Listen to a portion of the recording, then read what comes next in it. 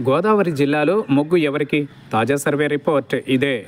ఏపీలో మరో నెల రోజుల్లో జరిగే సార్వత్రిక ఎన్నికలలో అమీతుమీ తేల్చుకునేందుకు రాష్ట్రంలో రాజకీయ పార్టీలు సిద్ధమవుతున్నాయి. ఈ క్రమంలో జనం మొగ్గు ఎటువైపు ఉందన్న దానిపై పలు సర్వేలు జరుగుతున్నాయి. వీటిలో కొన్ని అధికార వైసీపీ వైపు మొగ్గుతుంటే మరికొన్ని విపక్ష ఎన్డీఏ కూటమికి ఆధిక్యం కట్టబెడుతున్నాయి. ఈ క్రమంలో ప్రముఖ సెఫాలజిస్ట్ పార్థదాస్ తాజాగా ఏపీలోని పశ్చిమ గోదావరి జిల్లాలో తాజా పరిస్థితిపై తన అంచనాల్ని ఎక్స్లో వెల్లడించారు. పార్థదాస్ సర్వే ప్రకారం పశ్చిమ గోదావరి జిల్లాలో రాష్ట్రంలోని మిగతా ప్రాంతాల తరహాలోనే వైసీపీ ఎన్డీఏ కూటమి మధ్య హోరాహోరీ పోరు కొనసాగుతోంది.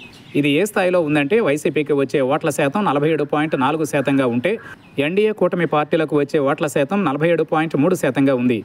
కాంగ్రెస్కు నాలుగు పాయింట్ రెండు శాతం ఓట్లు రాబోతున్నాయి. అలాగే పురుషులు మహిళల మొగ్గులో చాలా తేడా ఉంది.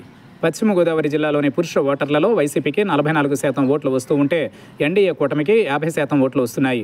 మహిళా ఓటర్లలో ఇందుకు భిన్నంగా వైసీపీకి యాభై ఏడు శాతం ఓట్లు లభిస్తూ ఉంటే ఎన్డీఏ కూటమికి నలభై శాతం ఓట్లు లభిస్తున్నాయి. అలాగే సీఎంగా జగన్మోహన్ రెడ్డికి అత్యధికంగా నలభై ఎనిమిది శాతం మంది మద్దతు ఇస్తున్నారు. చంద్రబాబుకు నలభై శాతం పవన్ కళ్యాణ్కు ఎనిమిది శాతం మద్దతు ఇస్తున్నారు.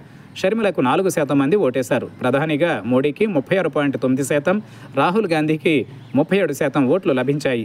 ఉండి తణుకు చింతలపూడి అసెంబ్లీ సెగ్మెంట్లలో కాంగ్రెస్ పార్టీ ఎనిమిది శాతానికి పైగా ఓట్లు సాధించే అవకాశం ఉన్నట్లు ఈ సర్వేలో తేల్చారు. అలాగే ఉండి తణుకులో ఇండిపెండెంట్ అభ్యర్థులు సైతం ఎనిమిది శాతానికి పైగా ఓట్లు సాధించబోతున్నట్లు వెల్లడించారు. ఈ లెక్కన ఆయా అభ్యర్థులు ప్రధాన పార్టీల అభ్యర్థులకు గండి కొట్టబోతున్నారు. దీని ప్రకారం చూస్తే వైసీపీకి ఉమ్మడి జిల్లాల్లో ఆరు సీట్లు లభిస్తూ ఉండగా ఎన్డీఏ కూటమి ఎనిమిది సీట్లు సాధించబోతోంది. మరో సీటులో హోరాహోరీ పోరు నెలకొంది.